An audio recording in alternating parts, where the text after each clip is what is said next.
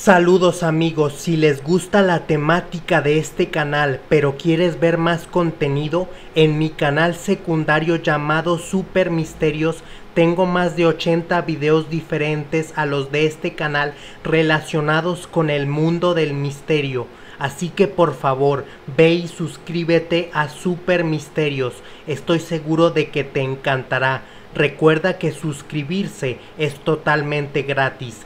Te dejaré un link en un comentario fijado para que vayas y te suscribas a Super Misterios. Gracias, ahora sí comenzamos con el video.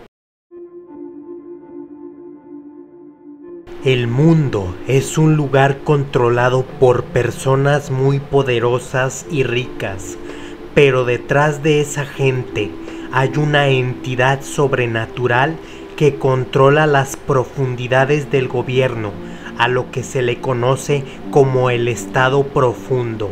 Me estoy refiriendo al demonio, el diablo, y por eso este video te enseñará que nunca debes ser lo suficientemente valiente para meterte con el diablo, porque si lo haces las consecuencias serán fatales. Todo comenzó en el desierto de Chihuahua, México, cuando una camioneta de la patrulla mexicana vio a una persona escapando de una cueva de aspecto tenebrosa. La persona se veía sumamente traumatizada y con múltiples heridas, pero lo que más les llamó la atención a los dos oficiales fueron que de esa cueva salían gritos horribles, así que llamaron a los refuerzos. Uno de los policías el cual era el comandante del equipo, pidió la ayuda de refuerzos, pero después su superior le llamó diciéndole que se retractara de enviar refuerzos a esa zona, pero el comandante se negó a obedecer las órdenes, pues su curiosidad lo invadió, así que envió a los refuerzos. Este oficial de nombre Hernández se consideraba un policía justo y bueno, cosa que ya no hay en México. Llegaron aproximadamente 18 patrullas al lugar y todos los policías entraron a la cueva. Adentro de la cueva encontraron a muchas personas, las cuales estaban siendo brutalmente torturadas por un ser de apariencia no humana y maquiavélica.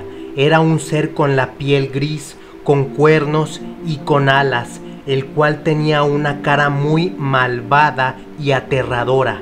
Este ser era el diablo, Satanás. El policía Hernández llevó a la criatura junto con otros policías a una cámara de interrogación para hacerle preguntas. El diablo estaba allí sentado en una silla.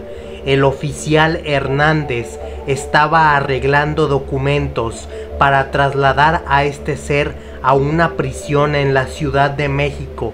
Sin embargo, cuando el oficial Hernández regresa para interrogar al demonio, Satanás ya no estaba allí, había desaparecido y ni siquiera las cámaras de seguridad podían explicar qué había sucedido, ya que no habría grabado el momento cuando los policías metieron a la criatura al cuarto.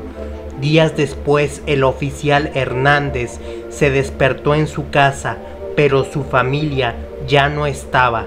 El oficial Hernández tenía mucho miedo, pero a pesar de esto decidió ir él solo a la cueva donde encontró al demonio. Se adentró en ella y allí encontró a su familia ya hecha pedacitos. Y no voy a entrar en detalles, pero tú te imaginas a lo que me refiero. Por si fuera poco, al oficial Hernández se le presentó el demonio y lo obligó a entrar a una especie de habitación rocosa donde el demonio adentro de ahí le hizo de todo al oficial Hernández. Cuando el oficial Hernández despertó, se encontró a mitad del desierto, pero ya sin sus dos piernas, pero tenía unas patas de madera que reemplazaban sus piernas originales. Lo recogieron unas personas en el desierto que lo llevaron a la ciudad de Chihuahua y así fue como el oficial Hernández terminó en una silla de ruedas sin piernas y con su familia destruida, y todo por culpa de meterse con el diablo. Por eso ahora yo te hago dos preguntas. Si tuvieras la oportunidad de arrestar al diablo, ¿lo harías para intentar salvar a la humanidad a pesar de las posibles y perturbadoras consecuencias que esto podría tener? Y la siguiente pregunta, ¿crees que este ser realmente era el verdadero diablo o simplemente era un demonio muy poderoso? Te leo en los comentarios, recuerda que tu opinión es muy importante para mí.